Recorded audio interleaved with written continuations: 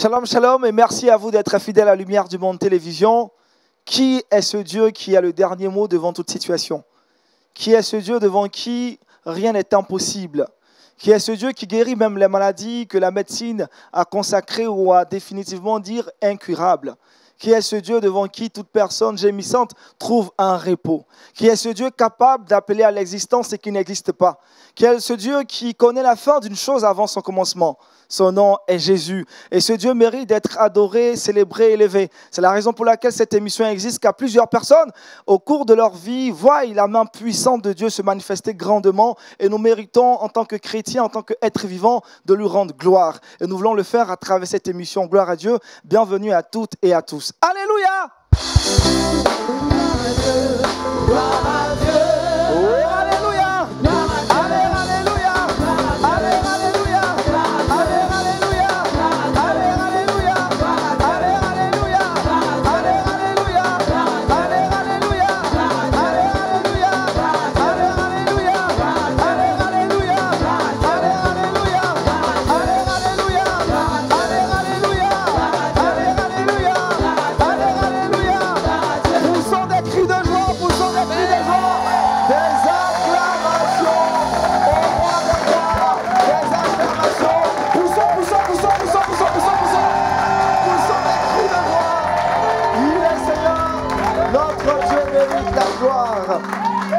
Chaleureux public, est-ce qu'on peut s'ovationner nous-mêmes Public, est-ce qu'on peut s'ovationner et Merci pour votre présence. On peut se rassurer, cher public.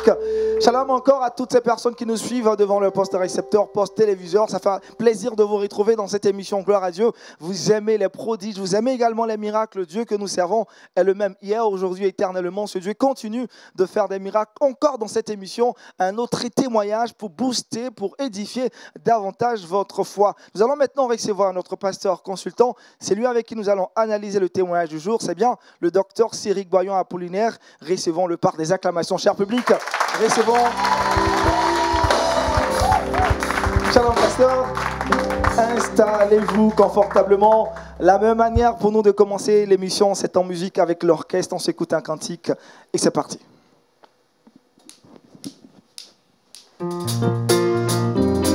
Alléluia.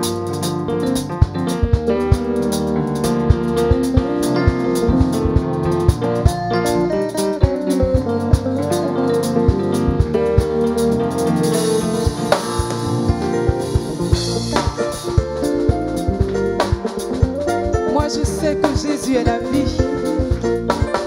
Il est le chemin, la vérité. Alléluia. Je sais que Jésus est la vie. Je le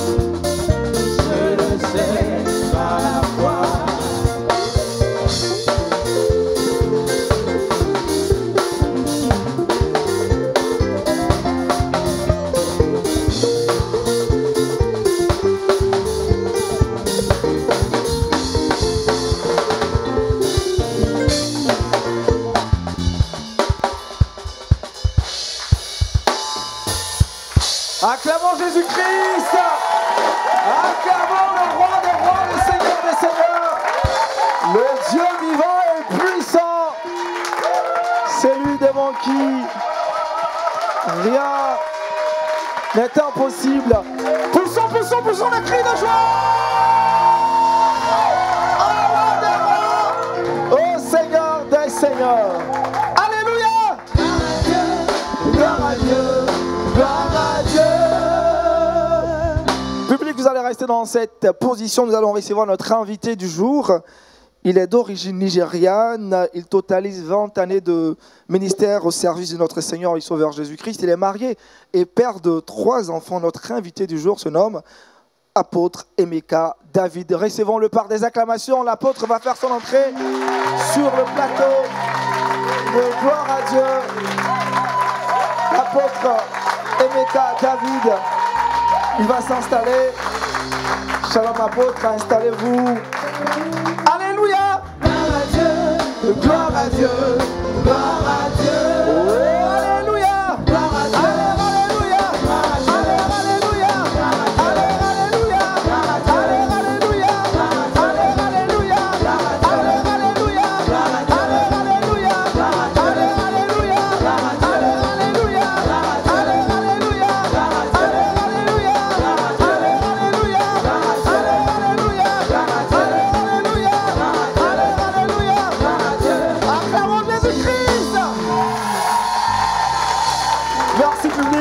Rasseoir.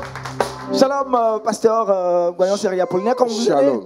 Vous allez bien? Oui, très bien, par la grâce du Seigneur. Alors le Dieu que nous servons est un Dieu incroyable, formidable, rien ne lui est impossible. Il est merveilleux et comme le groupe l'a chanté, c'est vraiment merveilleux de savoir que Jésus-Christ est la vie. La vie, la vie, la vie, la vie, la vie. Ça fait plaisir.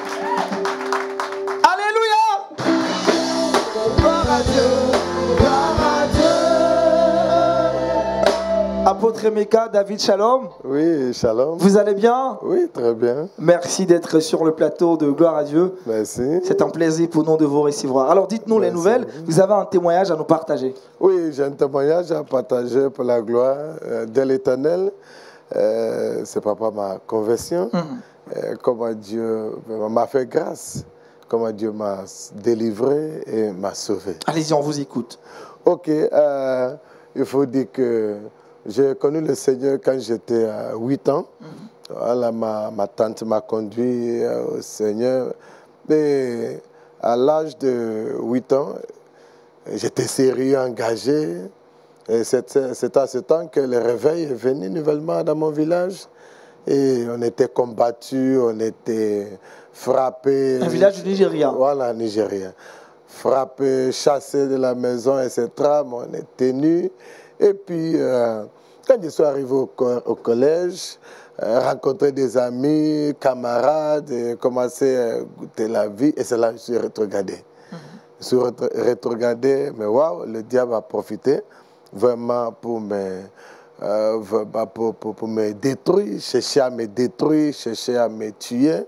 Voilà, il faut dire que d'abord, je suis euh, de la famille Dolat, côté paternel, côté maternel. Côté euh, maternel, c'est l'adoration des pitons. Voilà, où il y a les pitons vivants, où ils ont bâti une maison pour ces pitons, et ces pitons se déplacent d'une manière mystérieuse. Voilà, tout de ces familles, partout où tu te trouves, les- ces pitons te rend- viennent te rendre visite, physiquement.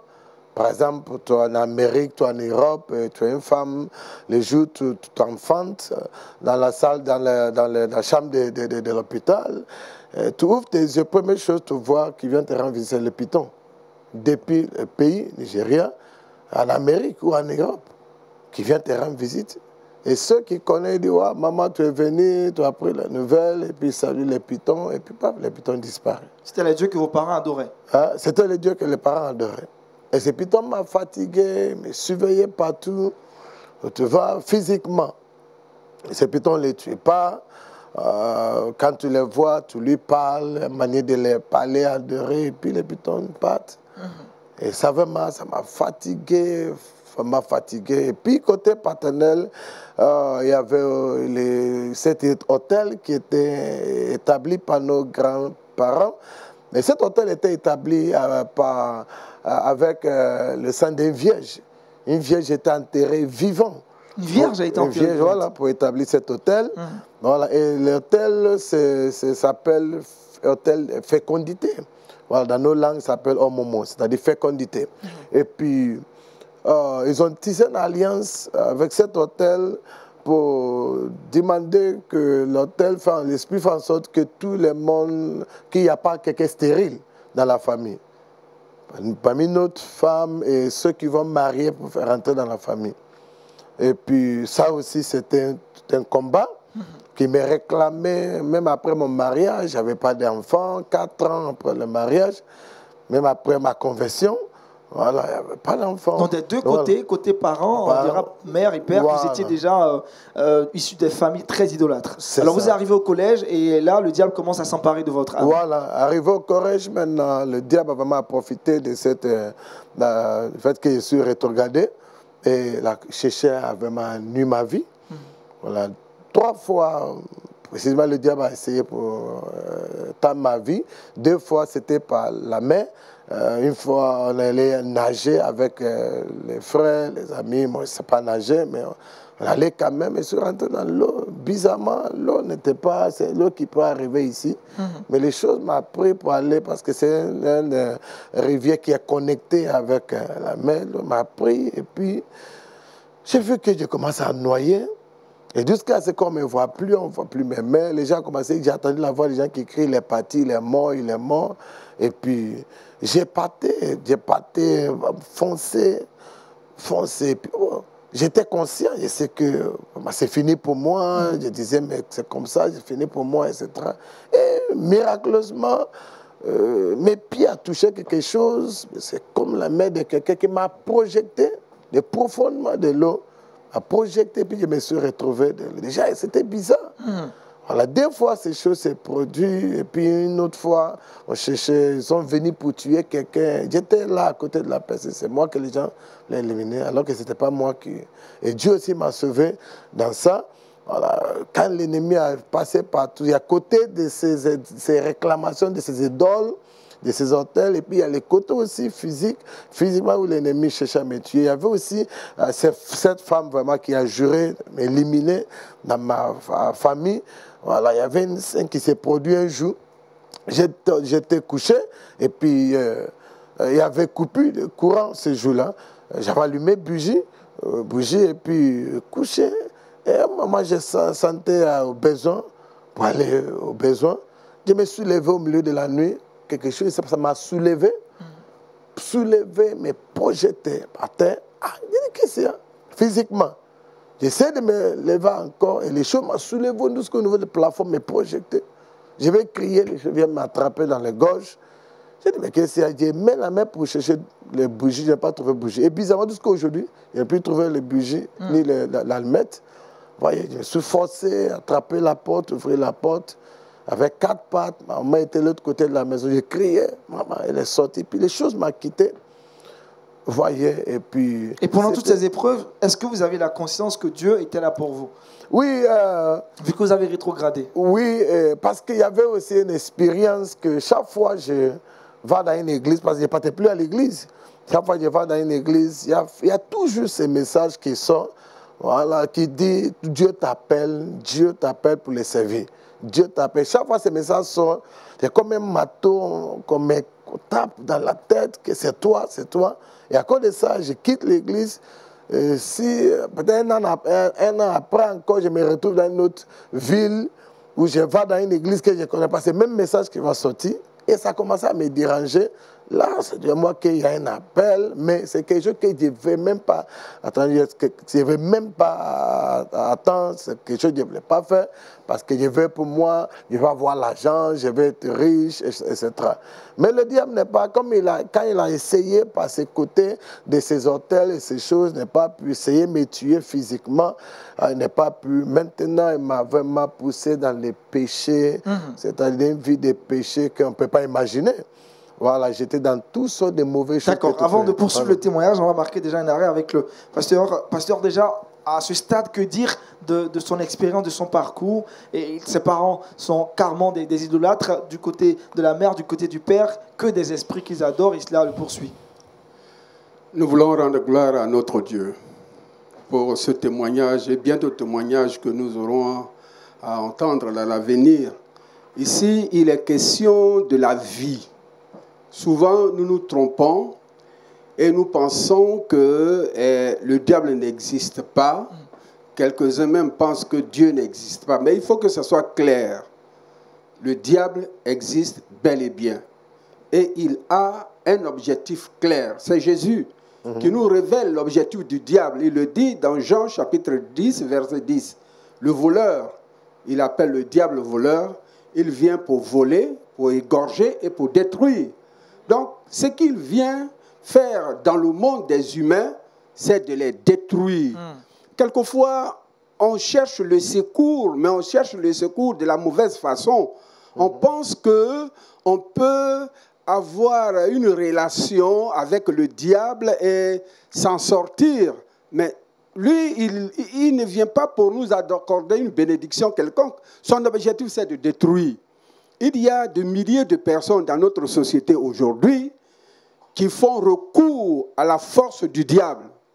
Et je suis sûr que pendant que nous sommes ici et que ceux qui suivent cette émission comprennent qu'il y a des gens qui sont tourmentés, qui sentent la domination de l'ennemi sur leur vie et qui sont pratiquement des esclaves parce qu'ils ne sont pas libres. Mais béni soit Dieu. Jésus-Christ est venu pour nous affranchir Amen. et pour nous donner la vie et la vie éternelle. Merci. Merci à notre Dieu. Donc voilà un jeune garçon qui a eu la grâce de connaître le Seigneur à l'âge de 8 ans. Ça, c'est la grâce de Dieu. Mais un moment après, il va euh, prendre l'habitude qui n'est pas la bonne parce qu'il est au collège, il pense que bon, il doit s'affirmer et tout ça. Et voilà que l'ennemi eh bien, le prend dans ses pièges pour le malmener comme cela n'est pas permis du tout. Alors il a souffert, comme lui-même il a dit, il a souffert. Et tous ceux qui sont dans cette expérience de vie, qui euh, n'ont pas le contrôle de leur vie, nous voulons leur demander de suivre cette émission attentivement parce qu'il est question d'indiquer la voie, le chemin et d'indiquer le libérateur. C'est lui seul qui est capable de nous délivrer. Quelquefois, on veut avoir la délivrance et on va chez les charlatans, mais le diable est un menteur. Il faut le dire, il est un menteur. Vous ne pouvez pas vous en sortir en allant chez un charlatan, un sorcier, quelqu'un qui va... Non, ça, vous êtes toujours dans la cour du diable. La seule façon de sortir de cette cour du diable, c'est de lever les yeux vers la croix. Jésus-Christ, le Fils de Dieu. Amen. Il est le libérateur. Et euh, à cette émission, nous voulons prendre l'autorité sur les œuvres du diable pour dire qu'il est vaincu. Jésus l'a vaincu à la croix. Amen. Et à cette émission, nous fêtons la victoire de Jésus-Christ. Alléluia. Amen. Gloire à Dieu, gloire à Dieu. Merci pasteur. On va s'écouter juste un cantique et on reviendra pour la suite du témoignage de l'apôtre Mika David.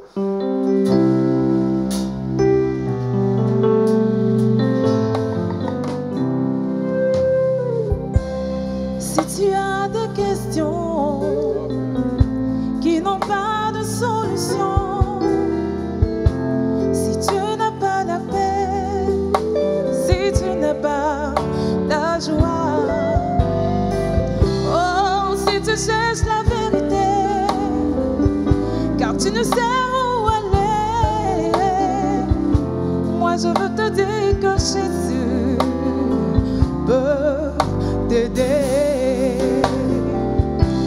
Jésus est la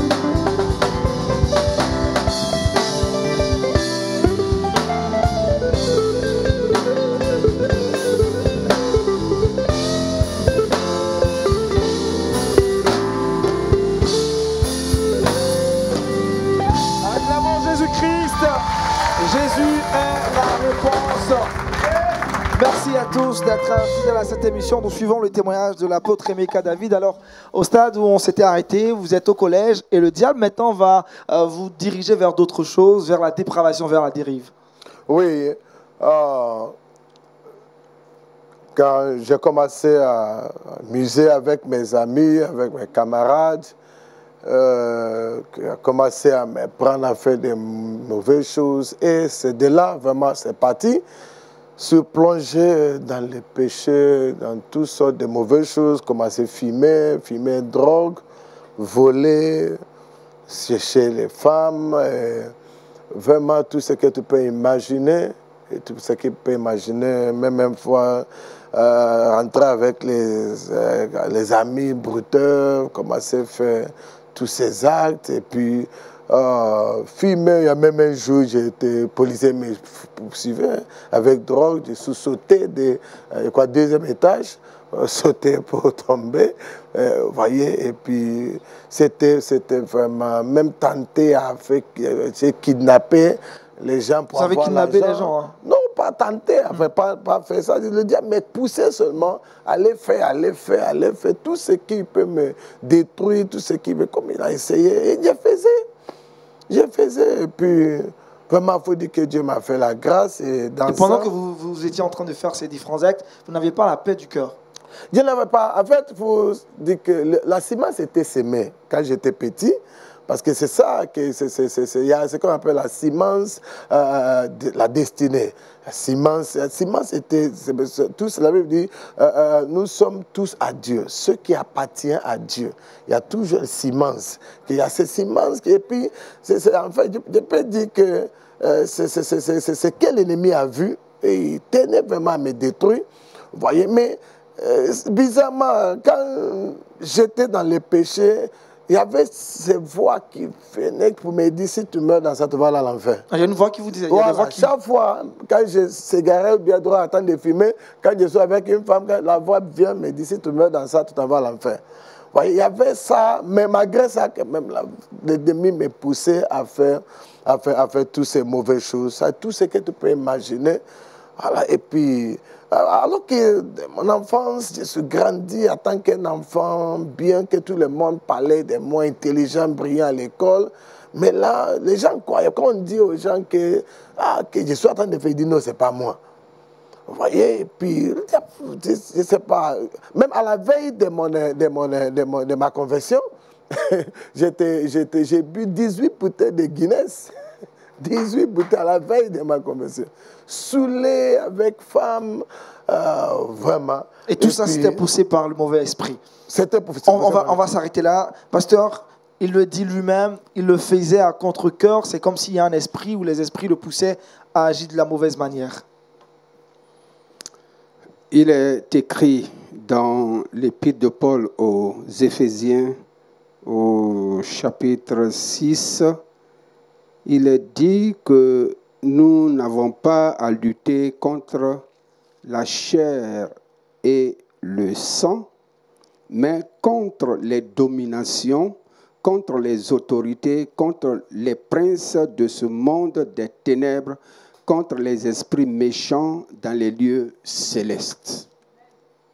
Donc, c'est clair que le chrétien doit comprendre cela. En tant que chrétien, nous sommes dans un combat spirituel. Quand on perd cette réalité de vue, eh bien, l'ennemi fait de nous ce qu'il veut. Et comme nous avons lu tout à l'heure dans l'évangile de Jean, chapitre 10, verset 10, lui, il poursuit son objectif, son but, c'est de détruire. Donc, il est sans pitié pour toutes ces choses-là. Il est sans pitié. Donc, euh, nous voulons souligner que c'est vrai que la vie est difficile, mais le chrétien, euh, nous le sommes par la grâce de Dieu, nous sommes chrétiens par la grâce de Dieu, mais il faut comprendre que nous sommes dans le combat spirituel avec les esprits méchants dans les airs. Et nous devons nous couvrir du sang de Jésus. Nous devons, nous, euh, nous devons utiliser la parole de Dieu comme l'épée pour que nous puissions avancer. Parce que si vous vivez votre vie chrétienne de façon, euh, que dire, si nous vivons la vie chrétienne comme si nous n'étions pas dans le combat, eh bien, l'ennemi remportera la victoire sur nous. Mais lui, ce qu'il veut, c'est de permettre qu'on meure dans le péché et manquer le ciel. Malheureusement, il y a des gens aujourd'hui qui sont chrétiens, leur objectif, ce n'est pas pour aller au ciel. On est chrétien pour avoir une femme, on est chrétien pour avoir un mari, on est chrétien pour avoir ceci, cela. Bon, ce sont des choses qui sont importantes, mais notre objectif là, nous sommes chrétiens pour aller au ciel. Pour aller au ciel. Et une fois qu'on perd de vue le combat qu'on doit mener pour aller au ciel, l'ennemi va profiter pour vous amener en enfer. Mais béni soit le Seigneur. Amen. Béni Amen. soit le Seigneur qui vient toujours à notre secours. Et quand nous l'invoquons, quand nous demandons à Dieu de venir à notre secours, il vient véritablement à notre secours. S'il y a quelqu'un qui est en train de nous suivre et qui est dans cette situation, qui se reconnaît dans le témoignage que notre frère a donné de rendre, nous voulons lui dire de s'appuyer sur Jésus-Christ S'appuie sur Jésus-Christ pour aller au ciel. pour aller au ciel. Pour aller au ciel. Merci, pasteur. On va poursuivre le témoignage. Et cet esprit de Python ravageait tout ce que vous gagnez. Tout argent que vous gagnez, l'esprit de Python prenait cet argent. Oui, cet esprit de python me surveillait partout. Il y a des fois, euh, à sept ans, j'étais sous moto et je vois les pythons venir barrer la route et s'arrêter. Et comme tu ne veux pas les tuer, je m'arrête, tu lui parles et doucement, il s'en va. Et dans l'affaire, je me suis mis dans l'affaire. Et tu peux avoir des millions aujourd'hui et demain tu perds tout. L'esprit a avalé tout. Et puis, euh, euh, dans la maison, dans la maison, tu tournes, tu vois les pitons dans les chambres. Où ça quittait pour entrer dans les chambres, tu ne sais pas. Maison clôturée, cimentée avec portail. Dans les chambres fermées avec les portes, tu regardes, tu vois les pitons. Il y a un vieux, chez nous, on l'appelle, il vient lui parler et puis il prend les pitons. Donc l'esprit vous tourmentait, il apparaissait Ouais. partout. cet esprit. Mais, même ce qui.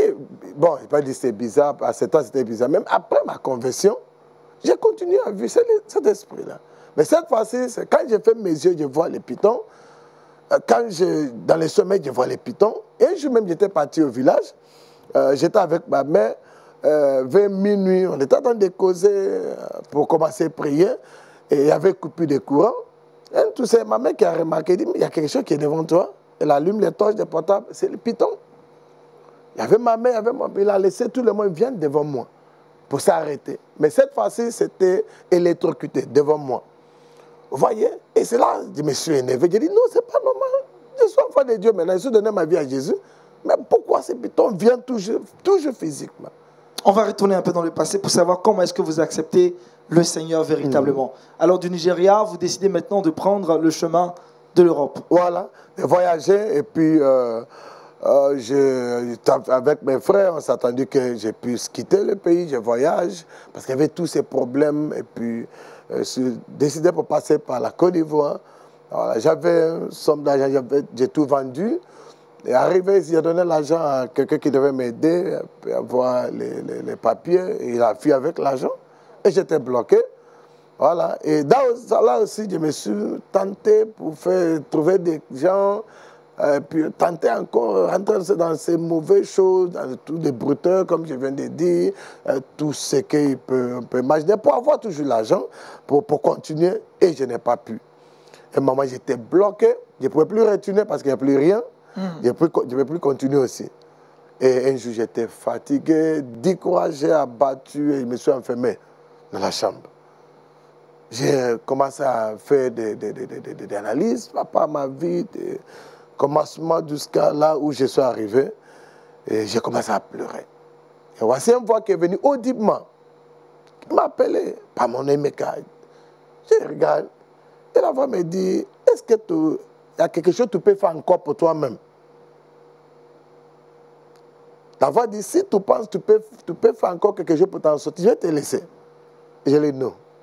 Ce n'est pas, pas qu'il ne m'aime pas, mais j'ai répondu, j'ai dit non. Je peux tout essayé, que je suis fatigué, je ne peux rien faire, je ne peux plus faire quelque chose encore. Et la voix m'a dit, maintenant, il faut t'abandonner au Seigneur. Amen. Et c'est comme ça. Comme je dis, à la veille, j'étais, j'ai fait des- comment ça s'appelle, 18 bouteilles de Guinness à la veille. Et puis, je me suis levé, j'ai appelé un ami qui m'a parlé de son église et de son pasteur. Et cette fois-ci, c'est moi qui l'ai appelé pour dire Amène-moi chez ton pasteur. Il était étonné et il m'a connu, son pasteur. Je suis arrivé, rentré dans le bureau du pasteur, le pasteur m'a reçu et j'ai lui ai expliqué un peu ma vie. Et c'est là, là, elle a pris la Bible, a commencé à me parler, prêcher. Et pendant qu'il était en train de me prêcher, un coup, Dieu a ouvert mes yeux, j'ai vu un écran géant devant moi. Et dans cet écran, c'est ma vie que je vois qui commence à passer un à un tous les mauvais actes que j'ai posés. Tous les, les, actes de méchanceté, comment je volais, comment je, je, je, je, tout ce que je faisais. Fumer, toutes ces choses. Ah, et j'étais étonné, c'est comme, c'est moi qui ai fait tout ça. Mais les choses se déroulaient. Comment je peux faire les choses comme ça? Comment je peux être méchant comme ça? Comment je peux être mauvais comme ça? Au fur et à mesure, les choses se déroulent, les choses se... Et à je ne pouvais plus. Je me vu méchant, je me vu vraiment mauvais, je me vu sale. Et j'ai commencé à crier, j'ai commencé à pleurer. Les pasteurs me regardent. J'étais à terre, pleurer. Et après, je me suis levé, j'ai dit pasteur, conduis-moi à Jésus. Alléluia Gloire à Dieu, gloire à Dieu. Je dit, conduis-moi à Jésus. Il dit, ah bon, tu es prêt? Je lui, je lui ai dit, je suis prêt.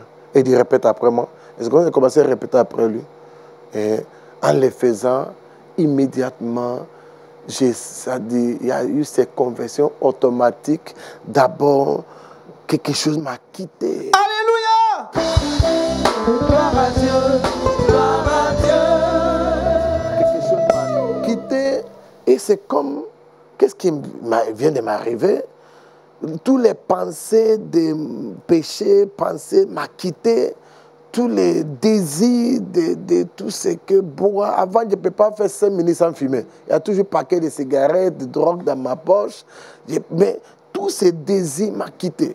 Et c'est- comme quelqu'un qui vient d'arriver dans ce monde, qui ne connaît rien Instantanément. qui connaît rien, qui n'est jamais péché, qui n'est jamais... Qu'est-ce qui... Il y a cette joie qui m'a rempli et la voix, la voix interne qui commence à me parler. Il dit, tu es né de nouveau. Si tu meurs tout de suite, tu t'en vas aussi. Alléluia. Gloire à Dieu, gloire à Dieu. Et c'est comme ça, c'est parti. Ça fait plus de 20 ans aujourd'hui. Et Alléluia. Gloire à Dieu, gloire à Dieu. Là, pasteur. euh, On arrive carrément à, ce point, à ce clou. Il accepte réellement le Seigneur. Il en avait marre, il ne pouvait plus. Et cette voix-là qui va se faire persistante, il va décider de suivre le Seigneur et te donner à Jésus-Christ. Nous rendons gloire à Dieu pour cela. Mais nous savons que ce que le Seigneur dit est vrai.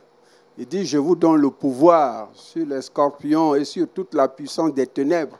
Il a dit aux disciples, quand il montait au ciel, allez par tout le monde et annoncez la bonne nouvelle. Voici les signes qui vous accompagneront. À mon nom, vous chasserez les démons. Euh, le python, là, c'est un démon. Euh, c'est un serpent.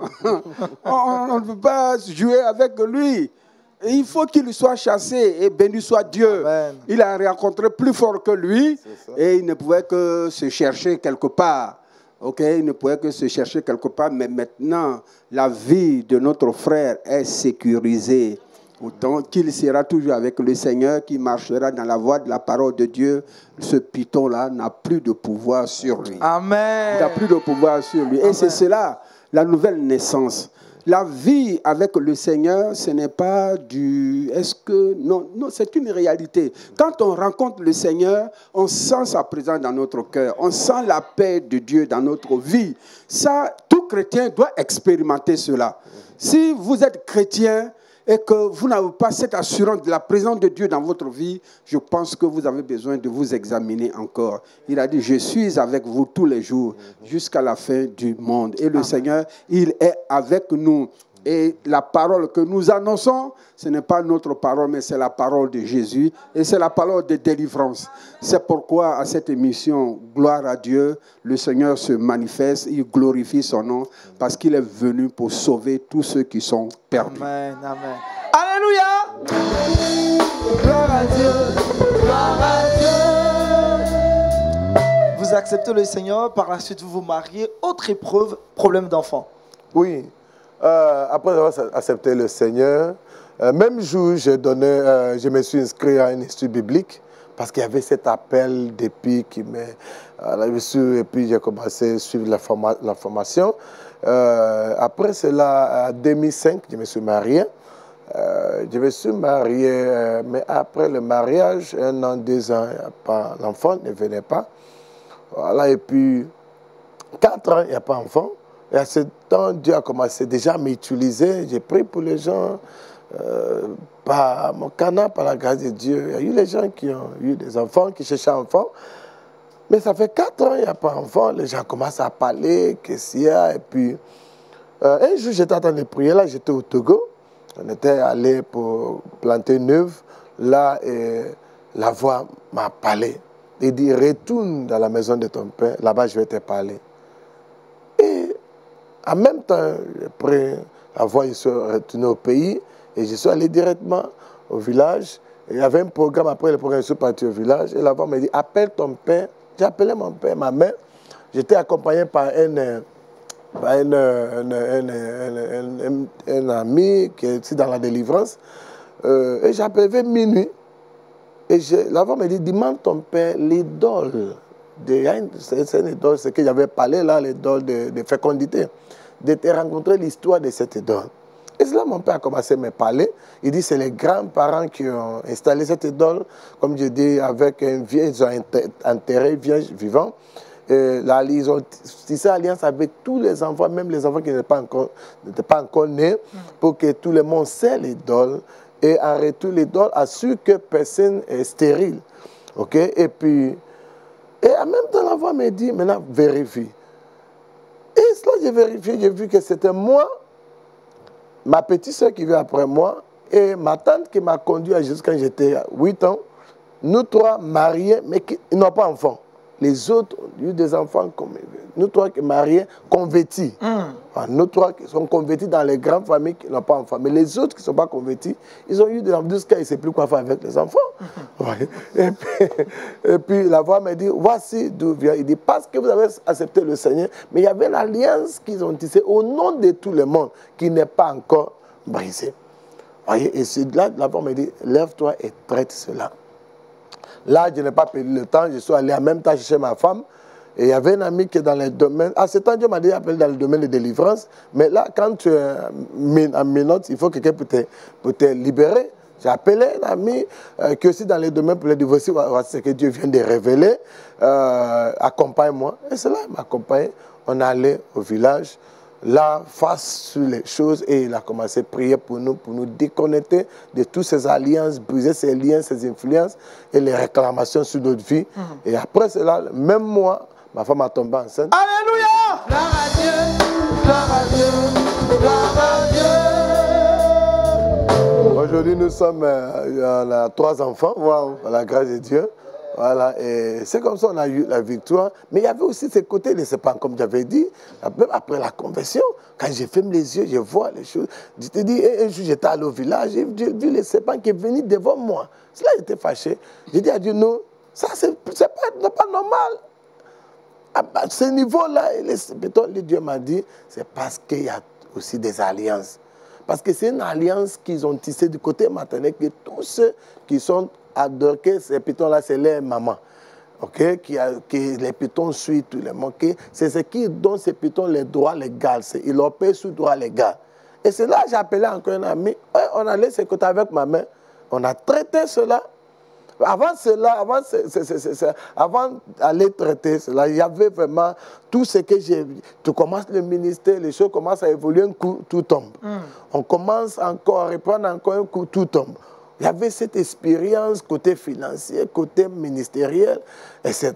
Et, mais quand mon ami m'a accompagné avec ma mère, avec ma soeur, tout le monde allait la nuit, il a fait délivrance euh, de la famille pour nous libérer de ces liens. Depuis ces jours, On ne voyait plus les on ne voit plus ces choses financièrement, ministériellement, les choses ont commencé. Alléluia.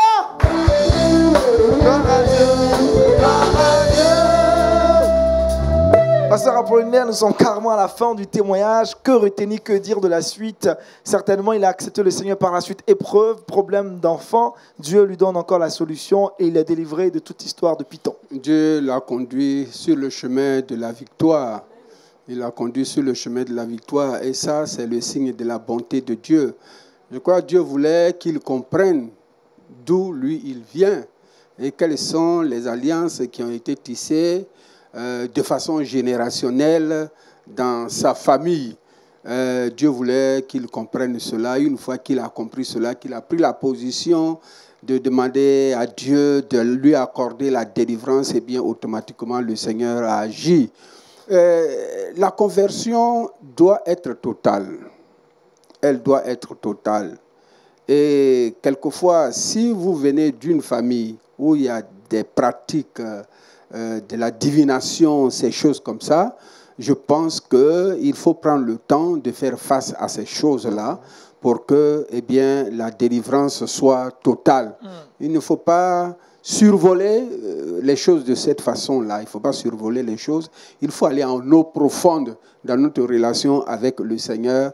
Il faut que le cordon ombilical, je vais parler de façon spirituelle, ce qui nous lie à nos, à nos, à nos ancêtres, tout cela, il faut que toutes ces choses soient rompues. Parce que quelque part, il y a des chrétiens qui ne sont pas conscients de ce combat spirituel et euh, qui, euh, qui traînent avec eux eh bien, certaines choses où, euh, quand ils ne sont pas assez forts, l'ennemi a encore de, de l'influence sur leur vie. Mais nous voulons profiter de ce micro pour dire que Jésus est tout-puissant, qu'il ne faut pas avoir peur. Le diable est un menteur et il y a toujours un point de le défaire totalement parce que la victoire de Jésus, elle est totale. Eh bien, ce n'est pas une victoire partielle, elle est totale. Même si le diable essaie de jouer encore euh, euh, son jeu de ruse et de tromperie, il faut savoir que la relation avec le Seigneur, c'est la meilleure, c'est la chose qu'il faut pour vivre sa vie de façon pleine, de façon totale et euh, pour glorifier le Seigneur. Alléluia. Gloire à Dieu. Gloire à Dieu. Merci apôtre Emeka David, je rappelle, 20 années maintenant de ministère, marié et père de, trois enfants. Euh, pasteur euh, Série Apollinaire, c'est carrément la fin de l'émission, un message d'espérance et d'espoir pour ces personnes qui traversent les mêmes épreuves que l'apôtre Emeka. nous parlons de Jésus. Et la Bible dit que Jésus est le même hier, aujourd'hui et éternellement. Ce qu'il a fait hier, il le fait encore aujourd'hui. Jésus est vivant. Il est venu pour apporter la délivrance, pour apporter la restauration, pour nous permettre de passer de la mort à la vie, de l'esclavage spirituel à la délivrance. Donc, euh, nous voulons nous adresser à tous ceux qui vivent des situations qui ne comprennent pas. Peut-être vous n'êtes pas chrétien ou peut-être que vous vous dites, que vous êtes chrétien, mais vous voyez que votre vie n'est pas ce que vous espérez. Eh bien, il faut se tourner vers le Seigneur. Il faut se tourner vers le Seigneur. Il est celui qui rompt les liens des ténèbres. Il est celui qui a écrasé la tête du serpent et il est celui, il est notre victoire. Donc nous fêtons, comme je l'ai dit à l'entame de cette émission, nous fêtons la victoire de- de- de nos- de- du Seigneur sur la vie de notre bien-aimé, mais à tous ceux qui nous suivent, nous disons que Jésus est vivant et Jésus est prêt à agir, à les libérer totalement. Pour qu'ils soient heureux et pour qu'ils soient heureux pour toujours. Il ne faut pas avoir peur du python. C'est un serpent. Mais animé par l'esprit du démon. Il ne faut pas avoir peur du diable, il ne faut pas avoir peur de Satan, il ne faut pas avoir peur de, tout, euh, de toutes ses actions. Parce qu'en Christ, nous avons l'assurance, nous avons la sécurité, nous avons tout. Parce que nous sommes les enfants du Dieu vivant. Ce n'est pas le diable qui a créé le monde, c'est Jésus qui a créé le monde. Le diable, c'est un menteur. Eh bien, c'est un voleur. Il prend les choses par ruse ou bien par force. Mais Jésus est tout puissant. Jésus est Donc, tout-puissant. ayons confiance en notre Seigneur et vivons la vie par son esprit. Alléluia Gloire à Dieu, gloire à Dieu. Merci encore apôtre Emeka David d'avoir accepté notre invitation et d'être passé sur notre plateau. Cette émission est arrivée sur notre site internet trois fois www.lumièredumonde.tv mais aussi sur notre page YouTube LMTV et continuez de vous abonner de façon nombreuse sur notre, euh, nos différentes pages de réseaux euh, sociaux Facebook, Twitter, Instagram. L'émission va prendre fin mais avec le public on va fortement s'ovationner. Extraordinaire et merveilleux public, on va fortement s'ovationner. Chaleureux public. Avec vous, on a passé un temps agréable.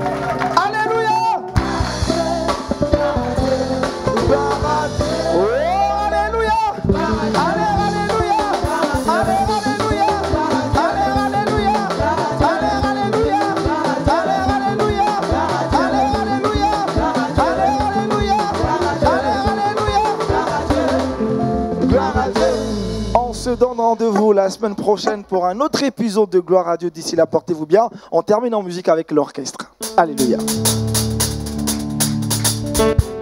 Alléluia.